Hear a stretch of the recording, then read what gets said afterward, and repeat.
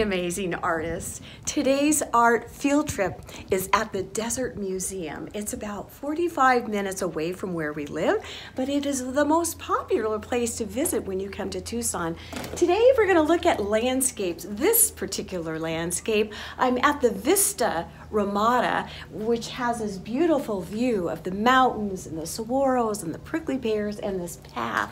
So with my charcoal, I'm going to start with the horizontal line of the mountains, add the saguaros and the path, and then at home, add the color. So here we go with the horizontal line, the big saguaros, and the path.